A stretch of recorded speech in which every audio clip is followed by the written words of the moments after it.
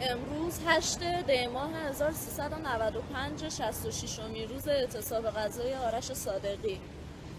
ما در همدلی و حمایت از آرش اعتصاب غذا کردیم و اومدیم جلوی زندان اوین که بخوایم از مسئولین که به خواستای بر حق آرش رسیدگی بکنن و تو اسرع وقت آرش و گروخ رو آزاد بکنن.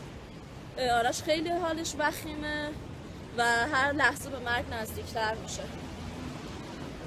این در حالیه که این دیوارای بلند بلند زندان اوین بین آرش و گروخ فاصله انداختن جالب اینجاست که ما هم نمی‌تونیم ببینیمشون و ناخواسته همگی از هم دور شدیم. به هیچ جرمی یا جنایتی. من داروش زند هستم. شیما بابایی هستم.